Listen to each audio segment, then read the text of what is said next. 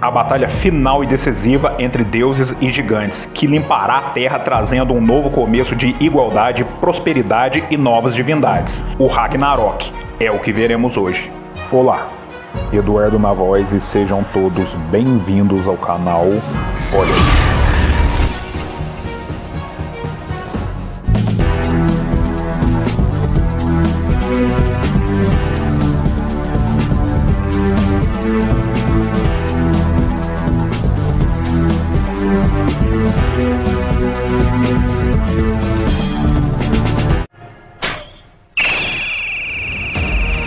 Na mitologia germânica, popularmente conhecida como mitologia nórdica, Ragnarok representa o fim do mundo, segundo a visão escatológica, como assim dizer, dos vikings ou a era viking. Família, o Ragnarok se iniciará com uma série de catástrofes naturais, envolvendo o chamado Winter, ou seja, um longo e rigoroso inverno. Inverno este que flagelará a Terra por três anos seguidos e sem verão, e com temperaturas extremas que chegarão a quase 100 graus negativos. Puxa vida! Haverá uma batalha entre os deuses nórdicos e gigantes que assolarão parte dos sobreviventes que restarem das catástrofes. Segundo consta, esses gigantes surgirão das forças do caos primeval e terão força sobre-humana para se opor aos deuses. Os Jothan, ou seja, essa raça de gigantes, matarão a maioria dos deuses.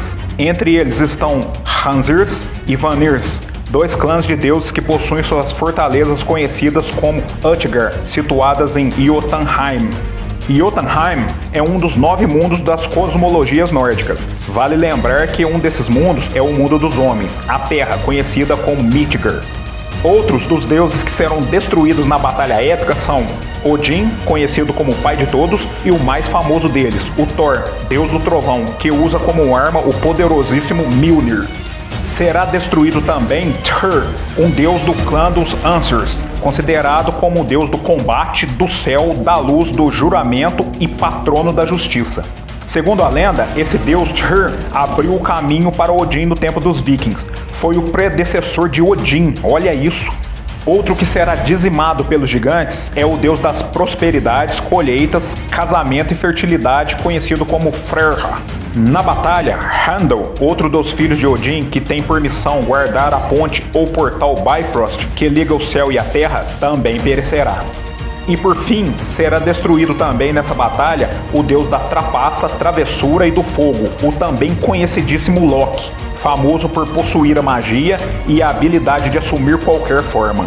Enfim, após uma batalha épica e baixas de ambos os lados, eis que haverá um incêndio global que derreterá o gelo e as geleiras dos três anos que haviam se formado pelos quatro cantos da Terra, bem como os continentes gélidos, e após o qual a Terra ficará submersa, não antes de ser devastada por um tsunami de proporções épicas, dizimando boa parte da humanidade. Aliás, quase toda a humanidade e tudo na face da Terra.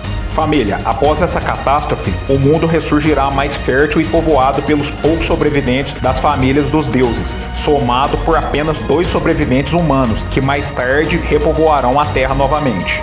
Falando nos humanos, essas versões nórdicas de Adão e Eva serão conhecidos como Lifhazir, do sexo masculino, e Lif, do sexo feminino. Em conclusão, o Ragnarok será o apocalipse da cultura nórdica antiga, ou seja, da era viking. Família, então é isso. Voadora no like, compartilhem e comentem o vídeo.